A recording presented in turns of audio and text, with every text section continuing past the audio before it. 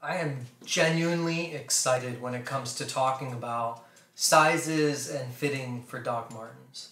So here's my answer to everything. If you love the shoe and it fits, wear it. If you love the boot and it fits, wear it. That's it. It's as simple as that.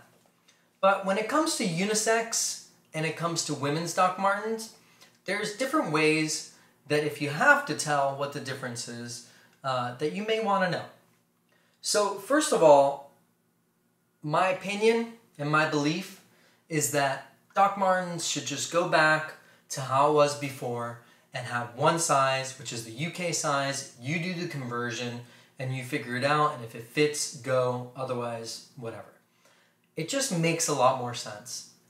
I don't know about you guys, but I've had so many discussions and so many questions come up of what size something is. Uh, I would say eight out of ten times when I buy when I go to buy a pair of Doc Martens that are being resold on a U.S.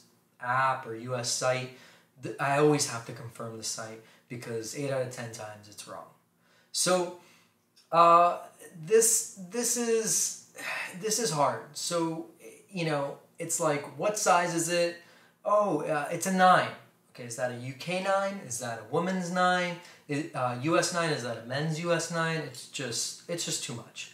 For those who, uh, who are watching this that are in the UK or in Europe with a very straight up sizing as well, you're probably laughing at this uh, and, and just how silly and complicated we make it here in the United States. So just bear with us. I have laid out four different styles that I own and love. We have what one that's currently available, which is a modern unisex made in England from the vintage collection Oxblood. One from last year, this is a modern made in Asia unisex tattoo collection, part of the tattoo collections. Then we have an Anarchy in the UK ish uh, Union Jack that was available years ago as a Beckett canvas that was marketed to women.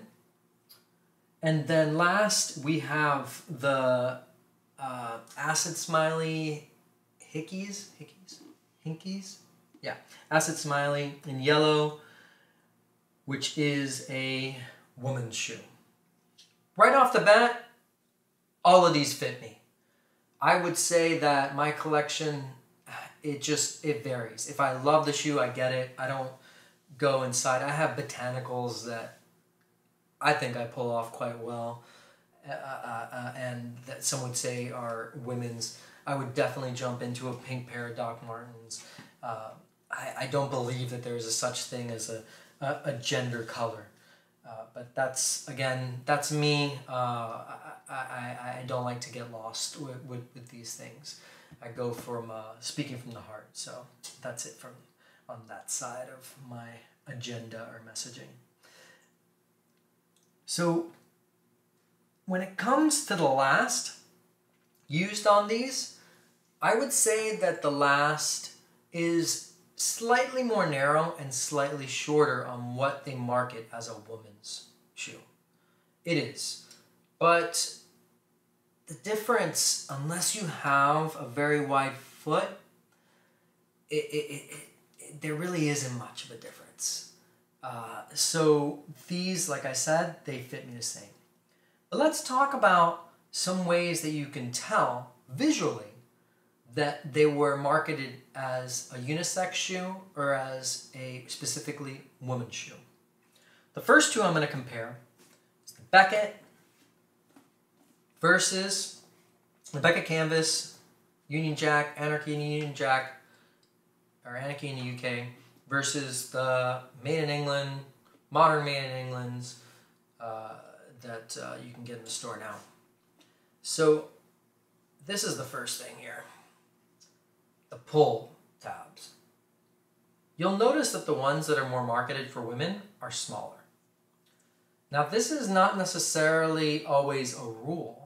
I have ones that are unisex that have a smaller pull tab. specifically vintage ones. So it really depends on what they were doing for the branding at the time, and, then maybe later on in the modern era of Doc Martens, which is the last 20 years, everything that's past uh, them being saved from bankruptcy, they uh, decided to do this, which is a it's it's a good sign. It's a good um, or not a good sign, but it's a good it's a good way to differentiate the bigger pull tab and then the smaller pull tab. Let's talk about the other way to differentiate. So here is the size imprint on a modern made in England.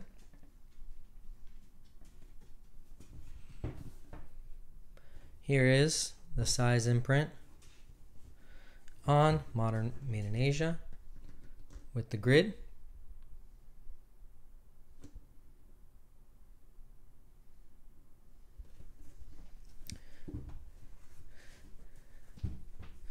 Here it is on the Beckett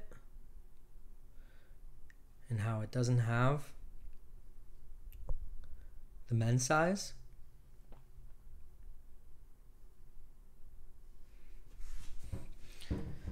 And here it is on the acid smiley. And it doesn't have the men's size.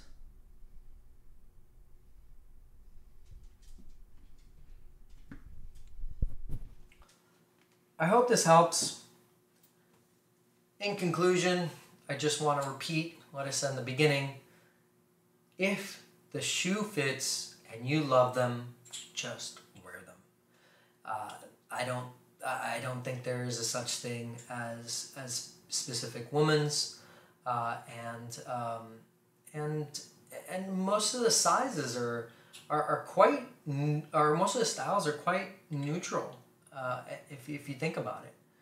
Doc Martens is all inclusive, and uh, and that is one of the many reasons that, that, that I love them, and I, I continue to feed this obsession.